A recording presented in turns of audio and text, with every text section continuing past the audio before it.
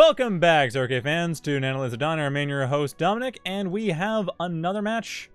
This time it's going to be Sigero katastrophe, Topkack versus Sprang, Droppy, and Zenfur on... Oh, oops. On the map that they're on, which is Valles Marineris. I... Yeah, I forgot to switch to this at the same time. I gave myself a whole five seconds to do this. And I didn't even do it right.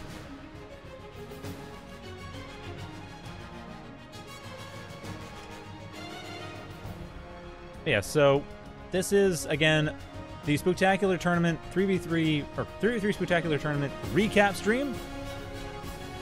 This is a recap stream, so everything that happened was something that happened before. And that's just how it goes. So, I mean, it's more, the tournament happened last week. I'm just doing the stream now because that's when I had the chance to do it. Because I was busy. Alright. So now we can actually get started proper into the match. So Valles Marineris, much more of a macro map, much more what I consider appropriate for 3v3. Adansonia, I mean, it works all right, but it's, I think 2v2 is kind of the max that it really works. I don't it's a weird, it's a weirdly built map. Valles Marineris is a little bit more typical. Lots of metal extractors all over. It's a bit easier for people to recover as a result, and much more of a clear delineation between lanes, like much more clear idea of, you know, you have someone on the top, someone in the bottom, someone in the little hills, or someone in the center, someone in the little hills, the bottom. And that's more or less what we're seeing. We have Sigero in the little hills at the bottom going for jump bots. We have Topkack going for air in the back. And Cloakies or katastrophe's choice to help deal with the top side of the map. While on the other side, Sprang going for gunships. And looking like they're going for a bit of a drop, too. A scallop drop right off the bat. Amphbot is Droppy's choice, while Zenfur going for the Shieldbot factory. So we are going to see a scallop drop right off the bat, and I'm hoping this works, because Last tournament, I remember we had a few scallop drops. Actually, we had a really major commander drop on Comet Catcher, and that went nowhere. So hopefully this works well, because it's nice to see a scallop drop actually pan out. I mean, it's one of those strategies that only comes up in team games, because in a 1v1 game, you have to build both factories, and then that makes it a lot harder to set up. Of course, the question is kind of hard. It's like, stop moving, Scallop! I need to pick you up! Okay. It's got it picked up. We've got a Scallop drop going. We do have some Swifts coming in, however, which might actually be able to stop one of the gunships, or one of the Valkyries, right? Or Charons, rather. Valkyrie, I think, is the larger transport. Yeah, the Charons are basically dead. The Swifts are already up. One of them's going to go down. I think... Oh, no! Oh, they've been super lucky. The damage has been spread across all three of them. Scallop's coming in here, being dropped early. But that's fine. The Scallop's still able to survive, still able to basically avoid trekking across the entire map. That would have taken a good couple minutes. So it saves time, but at the same time, the Pyros coming in the back lines without a whole lot of defense to deal with them. But there is enough. The Bandits are able to stop the Pyros, while at the same time, the Scallops are approaching, but no! Nice jump there. That's giving Scarrow all the room in the world to destroy basically everything Zenfur's built up. So Team XCOM is going to have a bit of a hard time here. And Team MumbleClan, on the other hand, dealing with the Scallops coming in, but they're prepared. They have Reavers in here. The Swifts are helping out as well. The Reaver, I think, is actually going to be a little bit of a disadvantage just because of the numbers. And yeah, Glaive's coming here, not at all. The Riots, I mean, Scallops are Riot units, but still, enough damage was dealt ultimately, so it doesn't matter. But I think this factory is still done. Top Topkack's Commander is really the best source of defense here, and I don't see that coming up yet. That are the Swifts. honestly, this factory is done. Oh, are you seriously going to the Commander? No, go to the factory, go to the factory, go to the factory! If you get the factory, you've got it. Dravi, you've got it. Factory down. Killed the, killed the scalp in the process, but still nailed an air factory. That is a very useful kill. And a lot of people say don't go for the factories initially because it's not as effective usually as, say, caretakers or whatever. But in this case, that's their air control is gone. Topkack has to rebuild that air factory if they want to get anything in the air. So right now, Team XCOM knows fully that nothing is going to be happening here that isn't isn't on the ground everything that's done by Teams Mumble Clan is going to be grounded for the next minute. And that's fine. I mean, at this point, Team XCOM double checking, getting the Harpy in there, just to see exactly what's going on. Maybe get rid of another something. Yeah, it's really just get information. But still, that information is good. They know that the air factory is being rebuilt. They know that essentially everything's going in a predictable fashion. And that's all they need to know. As long as they know that Team XCOM is going to be... Or sorry, the Team Mumble Clan is going to be attempting to rebuild air. They know that Team Mumble Clan is also not going to be building as much on the ground, and also that they that Team XCOM should probably build up some anti-air defenses just to be on the safe side. Although going for another scallop drop, also pretty clever. I mean, there are still Swifts in the air, and, they, and I don't think that Team XCOM is going to get as lucky this time. I mean, there are only two Swifts, and it'll be another half minute before the air factory is done, so the scallop drop might actually have a pretty good chance. It's just that they kind of got lucky last time because the Swifts ended up spreading their damage across the Charon's, which to me is a little bit intentional. As you notice the Charon's are flying quite close to each other, so the Swifts are probably retargeting different ones as they fly around. And that worked out really well, because if it weren't for that, one of the Charon's would have died around here, and then another one would have died maybe over here, like before they actually dropped off in this section in what ended up becoming a drop zone. But this time, now, four of them, four of them on top of everything else. Now, I think this is going to be fine. Scallop coming in here, again, targeting where the air factory will be. Although not, like, not as lucky this time. One of the Charons does get focused down, does get killed, but it almost doesn't matter. Scalp able to come in, destroy what's being built. I mean, the factory's not even going to be rebuilt yet. Top Guy's commander under some threat, but that's not the main concern right now. The main concern is just the fact that there are scallops in the base and nothing stopping them. And the factory again going to go down, almost completely rebuilt too. So that's about 700 metal that's just wasted. Not to mention the fact that all this economy is, is gone.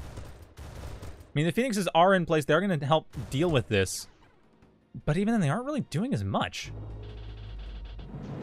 And, I mean, okay, to be fair, actually, the Phoenix is doing quite a bit. I don't know why the Scalp... Why are you not attacking the Metal Extractor? They're just blocked up by Reclaim or something? I don't understand what was going on there. That was actually really weird. I don't know why the Scallops weren't attacking that. I know what they're doing now. I mean, obviously, they're going to get rid of Sigero's backyard expansions, but still.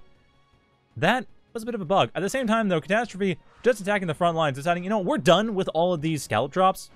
Let's go in, let's push the front lines, it's obvious that Team XCOM does not have much of a strong front line because they've been focusing all the resources on Scallops, which have been taking suicide missions, on top of the Charons, which have also been taking suicide missions.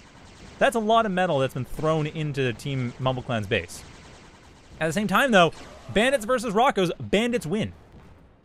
I mean, okay, to be fair, the Reavers will be the Bandits, but still, that forces the Rockos back, that forces katastrophe's entire force back, and that buys that much more time for Team XCOM to build up some amount of ground force to help deal with this. Not to mention, they still do have scallops. I mean, if the scallops get dropped in right next to the Rockos, the Rockos can't really do much. They're still going to die. Remember, the main range, the main reason why, why skirmishers have an advantage against riots is because of range. If you close the distance with the riots using a drop, the skirmishers have nothing. Incidentally, that also is true of this here Phoenix because there is no air pad. There's no air factory. None is even being rebuilt. I think Topkack, yeah, there, there it is. Rebuilding it with the help of a caretaker to take a bit less time. Take 50 seconds in total, roughly. The main problem here being the moderator and the scallop, oof, getting mostly stopped. Bit of an unwise placeholder, however, pulling the scallop just above ground to be able to help get rid of the caretaker. Not something you see very often, but that's how it goes sometimes. Placeholders, they hold things in place, as the name suggests, but they also pull them off the ground, which, in the case of some hills, not always the best concept, not always the best idea. Still, I would say this was a successful raid. Mumble Clan still slightly ahead in terms of economy, but they lost the factory. They have no air control. The fact that a second... Ooh, nice attack in the Sigero. The fact that a second Scallop Drop is able to come in, a third Scallop Drop, I'm not saying second Scallop Drop. Here's drop number three. The air factory is just now being finished up. There are no Swifts in play. There are no Phoenixes in play. The placeholder is the main reason why these Scallops are not going to be able to do too much. But even then, having destroyed the Charons, the Scallops able to do whatever they want. They're flying right above the base. They got full range of vision. They can destroy whatever the heck they feel like. Yeah, I if it weren't for the puppies, that placeholder would honestly be more of a liability than an asset. Just for how much it was providing vision to those scallops. Still, I would say that was a failed drop. Like, that was definitely a well-defended drop by Sigero, making sure that their base does not get damaged any further. And now the air factory's back up. The Swifts are back up. There is really no opportunity for more scallop drops. I mean, not without massive risk. And I don't think they're going to be gone for anymore. I mean, the scallops are still... No, they are still being gone for Droppy just completely doing it on their own. Factory being dropped in the north... Actually, sorry. Sprang and Droppy are currently of one mind, so not really sure which is which. But yeah, the Sprang Droppy hybrid creature building gunship plant in the right next to the right next to the scallops, right next to the Amphbot factory. Not a terrible idea. They can at least drop where needed. Maybe not in a backyard harassment type, but they could drop right next to the Rockos. So, I mean, Ronin, rather. Could drop right next to the Ronin and help deal with them. That actually wouldn't be a bad idea. Like, get rid of some of katastrophe's forward force. Gives Zenfur a lot more room to play around with. But really, that's the main problem. Like, that's all they can really do, because Topkack's force here... I mean, the Swift's coming in, they will be stopping this drop.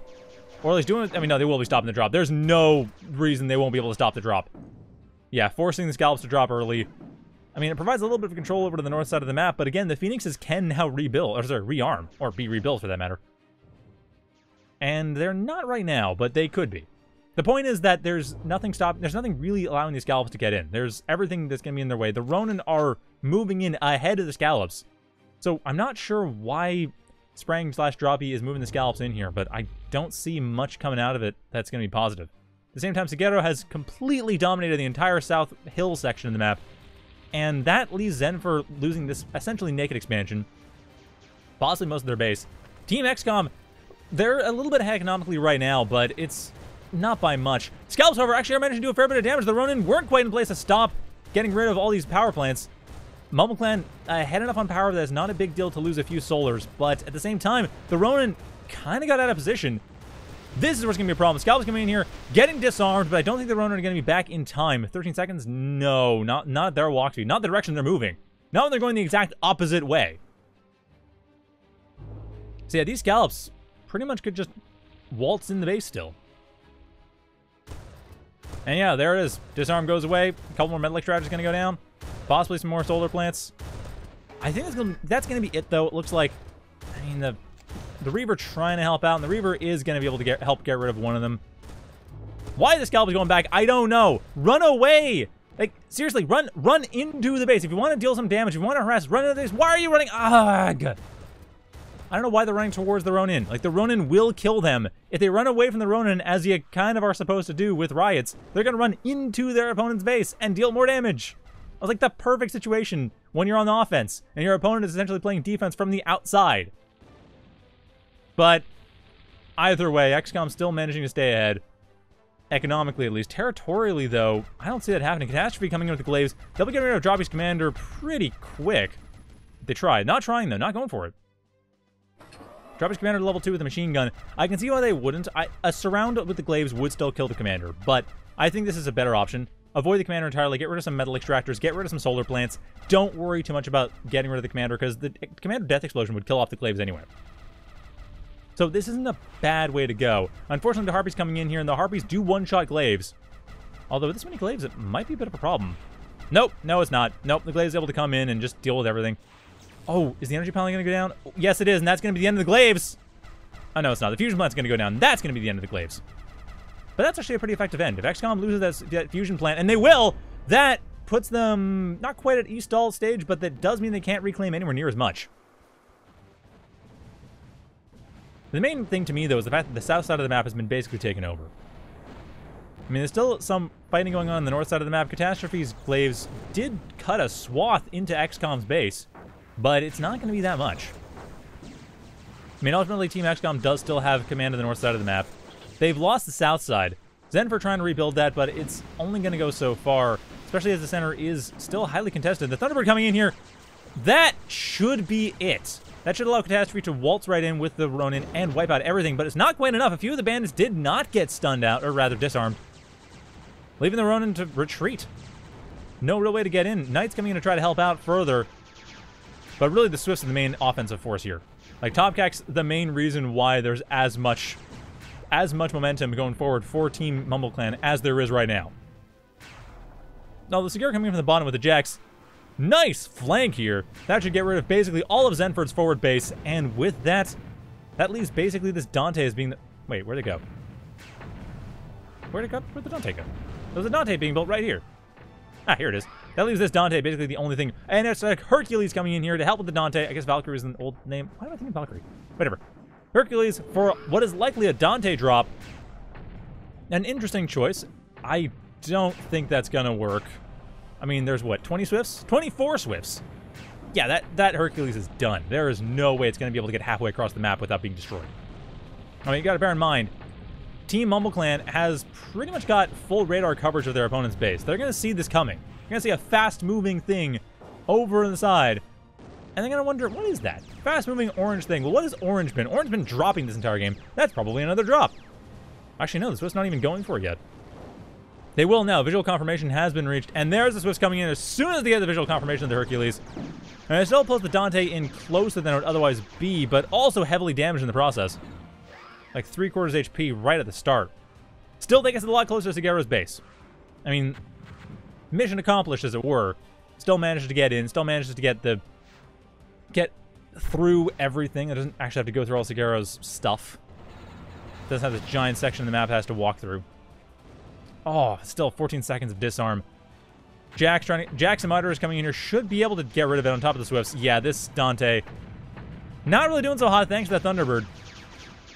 And again, this is the thing we've seen with Sprang and Droppy. They've been doing a lot of suicide runs, and it hasn't really amounted to much, unfortunately. Like, that Dante in particular, just get got rid of by the Swifts. I honestly don't know why they're going for the drops anymore. I can kind of see because Again, Valles Marineris is a large map. I can kind of see why you'd want to drop things. Thank you, FFC. FFC in chat pointed out that Valkyrie was Charon's old name. Okay, so I wasn't hallucinating. That's what I thought. Anyway, back to what I was saying with drops, though. Speaking of the Karen, is that I can kind of see because this is a larger map, walking units across does feel like it takes a long time. But the problem is that it is not working. Like the Hercules is dying, that's how much metal even is that? 750 metal. That's a good. Uh, that's well, you could not quite double the forces up. Probably wouldn't double the forces up front, but like this this group here would be 50% larger with the cost of the Hercules. Or, like, even that, it's like another Hercules coming up here. That's a fifth of the cost of the Dante. It's, you have two already. There's a lot more you could do with that than just getting a Dante in about a minute sooner. Especially the way this game is going, the players, like, it, they're kind of keeping it a bit of a steady state in the center of the map, so I don't really see any major advantage to the speed especially compared to the advantage you gain from having more units in the front lines actually helping push the front lines. Like, the one advantage I can kind of see is that it gives more room for their opponents to deal with it, but it's not even going to happen. Resign coming in from XCOM as they are basically done. I don't think they were that far behind. I know they weren't. In terms of metal used, they were just about on par. Army value was a little bit lower, but mainly because the Dante dying. If that Dante hadn't died, then it would have actually been again on par. The Thunderbird was being a problem, and I think, I think honestly, the main, the main takeaway I would get from that is, you know your opponents go air, get the anti-air to deal with it, because we saw a lot of Ronin, we saw a lot of Bandit, not even Ronin, we saw a lot of Bandit, saw a lot of Rogues, didn't see a lot of anything else. Didn't see a lot of Vandals. I didn't notice a lot of Razors for sure. Like, static defense as far as dealing with air went. I mean, it's hard to tell now because it's all just blown up but there wasn't really a lot dealing with it, and that left all these Swifts able to just run amok. And that's the thing, is that meant the drops couldn't do much. Uh, granted, the drops could have probably done a lot if they had Walt if they'd gone to the front lines and just dropped off Dante's to massively reduce the amount of time it takes just as a ferry route, essentially. That would have worked well, because that way it would have put a lot more force in the front lines, it would have pushed katastrophe back. Sigero would still be in a bit of an advantageous position, but they're on hills. You gotta deal with that in one big push. katastrophe, on the other hand, they could seed the center, and that would be a lot more room. That'd be the north side for Team XCOM. And then from there, they could they could fire into the main base. And yeah, is the most defended, but just contain Sigero's base. Like, okay, it's hilly, and they have jump bots, and they can kind of get around it. But it's also going to be the hardest thing to attack. Just contain their base, deal with everything else, try to establish a really strong foothold in the north side of the map, at least. So Sigero has the south. Well, okay, take the north. And then from there, just take the east, and Sigero can kind of help defend, but they're still a bit far away.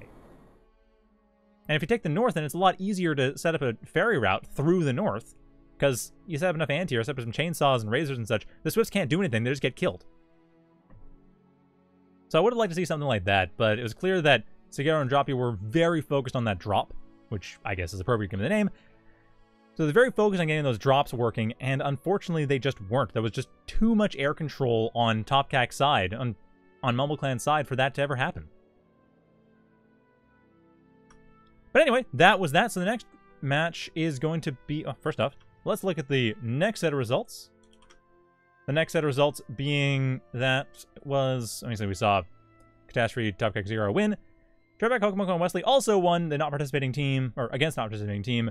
Steel Blue, FFC, and Green Squid won against Venom Kingston Astron. Bit of an upset there.